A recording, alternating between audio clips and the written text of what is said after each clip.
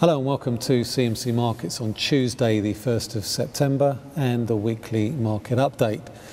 And it's an interesting week this week. Data heavy on both sides of the Atlantic, Europe, the US, and also we've had some very important Chinese data as well.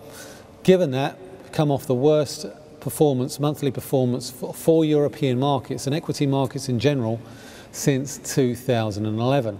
And there's two factors, I think, at play with respect to the uncertainty that we're seeing in markets right now. Number one is obviously concerns about the Chinese economy, a significant slowdown there. We've had further easing from Chinese authorities, and yet we continue to find that Chinese equity markets are under pressure at a time when Chinese authorities um, seem quite intent on easing policy further. Now that's having a ripple out effect on European markets. We're seeing declines renew once again early this week, and this on the back of some significant volatility last week. And looking at that volatility, it does, I think it does give the impression that markets and investors in particular are extremely uncertain as to the direction of the markets over the course of the next few weeks. Namely, we're gearing up to the FOMC meeting on the 16th and 17th of this month. Now, before that, we've got a whole host of US data to get through. Had a very good GDP number um, at the end of last week, and that has once again put the prospect of a US rate rise back on the table. Now, towards the end of last week, I think there was a perception that maybe some of the policymakers on the FOMC were starting to cool off a little bit on the prospect of a US rate rise in the September meeting, namely um, Dennis Lockhart, the Atlanta Fed, who actually suggested that the bar was very high to not raising rates, has gone a little bit cool on that.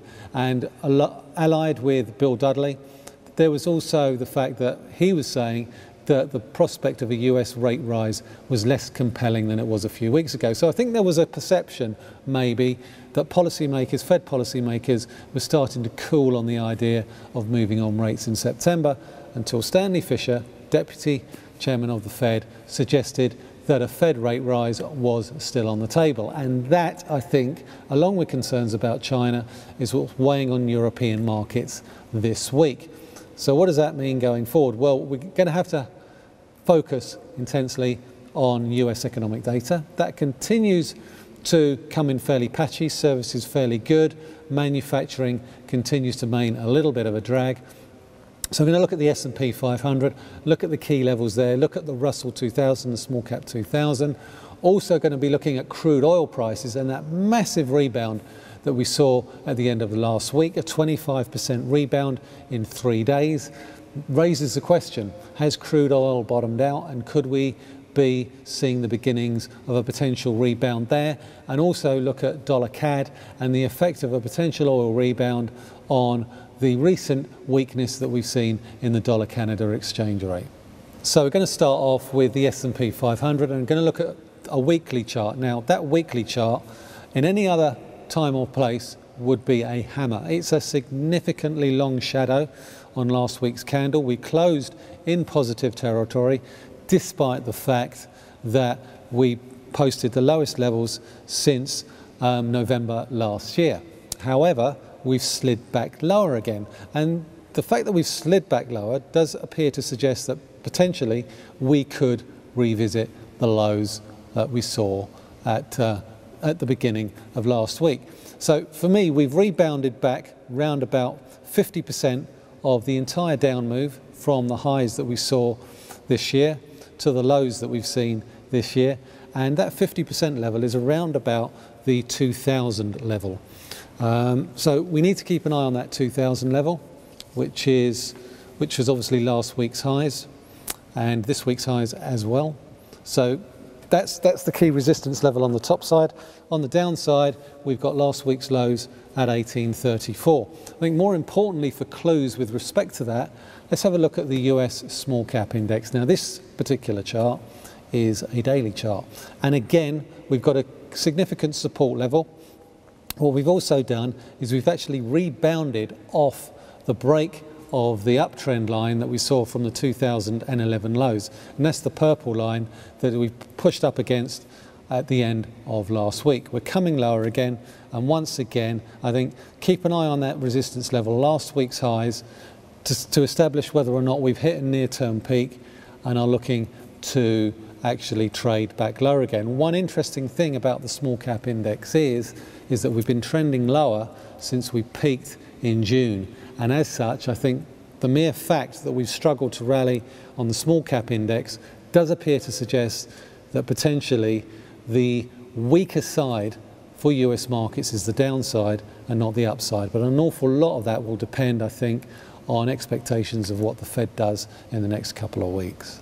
So we're going to move on to crude oil prices, and for several weeks now, a lot of analysts, including me, have been calling for significantly lower oil prices. Now, we've seen a move below $40 a barrel in WTI last week. What I wasn't prepared for was the extent of the snapback that we saw at the end of last week. And this is no better illustrated in this daily chart here in front of you. We can see from the May and June highs, we've more or less retraced just, just slightly below 50% of the entire down move from the May and June highs to the lows that we saw last week around about $37.40. Now we haven't quite come back to the $50 a barrel mark, but that for me, I think, is a key line in the sand. And more importantly, I think in terms of the weekly chart, I think there's evidence that potentially we may have seen a near-term base. Now, why do I say that? Quite simple. You get a 25% rebound, or if you or put it more succinctly, you've seen oil prices rally 25% in the past three days. What does that do for the weekly chart? Let's have a look. As you can see from the weekly chart here, we've got a bullish engulfing week. Now that's a potential reversal pattern and we've continued to make those gains so far in prices this week. What we need to do is get above that resistance level that I put in on the weekly chart, just above $50 a barrel. If we can break through there, then there's certainly potential for us to revisit the highs that we've seen earlier this year around about $60 a barrel. So I think there is an argument, irrespective of the fundamentals, whether or not you think OPEC will come to an agreement to cut production or agree prices or what have you, there is potential that we could well have seen the base in oil prices, and that could have a significant effect on dollar Canada. So why will that affect dollar Canada? Well, quite simply, Canada is a significant oil exporter. The weaker oil price has really hurt the Canadian dollar, and that can be seen from this daily chart that I'm putting up in front of you right now. We've been trading in an up channel, but there does appear to be some evidence that maybe we could start to see a resurgence of Canadian dollar strength and a little bit of US dollar weakness. What could confirm that? Further a further strength in oil prices. So keep an eye on the trend line support that I've drawn in, this channel support from the lows at the end of July. Keep an eye around about 130 and a half, 131. If we break below there, then we could well see um, further Canadian dollar gains and further US dollar declines. Okay, so that's pretty much it for this week. All that's left for me to do is remind you, for those who don't know, that we have a traders event in Birmingham later this week on Thursday evening. You can sign up for details um, for that on a link here. And also on Friday, we have our monthly non-farm payrolls webinar where me and my colleague Colin Cieszynski will talk you through the latest US jobs report. So that's it for this week. Thanks again for listening. This is Michael Hewson talking to you from CMC Markets.